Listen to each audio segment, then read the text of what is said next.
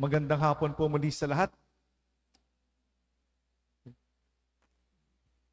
We thank God for this Sunday once again as we gather around the table of the Lord to be fed by the Good Shepherd para palakasin ng ating mabuting pastol.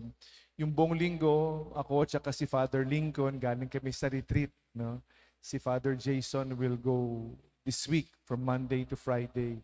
Uh, napakaganda ng retreat, napakalaking tulong talaga ng retreat, no? Magpahinga, magpahinga, no? 'Di ba? Araw-araw sumusugod. Pagkatapos ng sugod, retreat, atras. Kailangan natin umatras eh. Hindi lagi tayo pwede sugod ng sugod. Hindi po pwede. Napaganda ng retreat, time with God, umatras tayo para makita ang kamay ng Diyos gumagalaw sa ating buhay. In a retreat, when we get in touch with the Spirit, lahat lahat maunawaan natin bakit nangyari ito, bakit hindi nangyari. Everything we will see clearly in the hands of God. Hindi inaalis yung problema, kundi naintindihan natin pag tayo ay nasa Espiritu ng Panginoon Diyos. So that is a retreat. I wish we can have some form of a retreat one way or the other. We can have silence in our own way.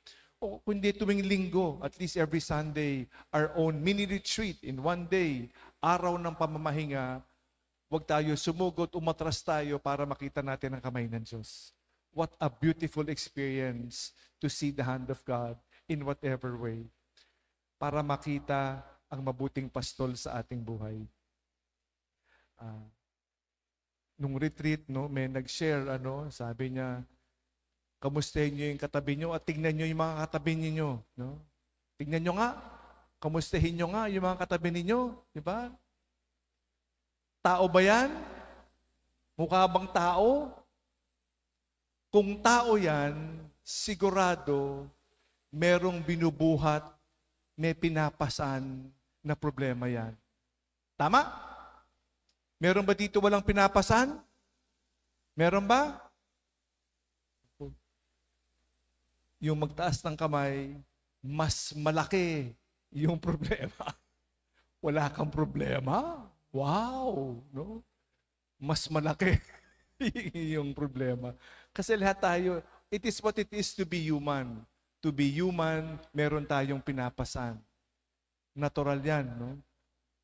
May pinapasan tayo mga ugnayan, mga love life, sa bulsa, problema ng bulsa, sa mga estudyante, sa mag-aaral, sa opisina, sa ating bansa, meron at meron tayong pinapasan. Lahat tayo meron pinapasan. Walang exemption. Kaya napakahalaga ng ating mga pagbasa, pati yung Salmon Tugunan, ang Panginoon, ang aking pastol. Siya nagpapastol sa atin eh. The Lord is my shepherd. There is nothing I shall want. Sapat na. Hayaan natin siya magpastol sa ating buhay. Hindi natin kaya mag-isa. Hindi natin kaya sa dami ng ating pasan-pasan, salamat, meron tayo mabuting pastol. Siya ang tumutulong sa atin para pasanin yung ating mga dinadala. Kung ano man yan. No? Uh, malaki man o maliit, ganyan pa man din, hindi tayo makausa dahil dyan. Pero sa ang assurance nga sa atin ngayon, itong mabuting pastol na to, pinapaalala sa atin no, na hindi naman niya tayo pababayaan. Kahit ano man mangyaring, hinding hindi na tayo pababayaan. Kaya hindi niya aalisin yung problema, pero tutulungan niya tayo kung paano buhatin kung paano lampasan ang pagsusubok na yan. Hindi para takasan, kundi para harapin at sa tulong niya, posible. Wala naman imposible.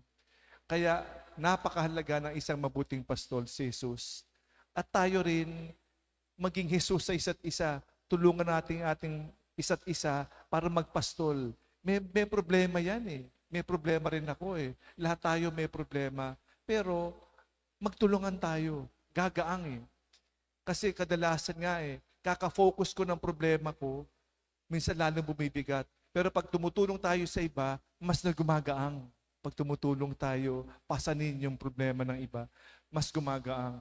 At mas nakita natin ang kamay ng Diyos. Napakalagang mabuting pastol, umasa tayo dito. Pero may kasabihan, nasa Diyos ang awa, nasa tao ang gawa. We trust everything to God, pero that does not make us complacent. Kailangan din tayo gumawa. Kailangan natin ang ating aksyon. Umaasa ang Diyos sa atin. Kaya itong paalala na to, itong linggo na to, araw ng pamamahinga. Let us rest with the Lord. Magpahinga tayo. Huwag tayo sugod ng sugod, umatras. Magpahinga sa kanyang kamay. At ah, siya ang bahala makita kung paano siya gumagalaw, kumikilos sa ating buhay. Huwag tayo mawala ng pag-asa, magtiwala tayo sa Panginoon. Umabot tayo sa panahon natin ngayon dito, sa dami ng dinaanan natin pagsusubok, mga pagyo, nandito pa tayo, naka tayo pa tayo, nakaupo pa tayo dito ngayon, nagpupuri at nagpapasalamat sa banal na misa. Yan naman ang ibig sabihin ng Eucharistia, magpasalamat.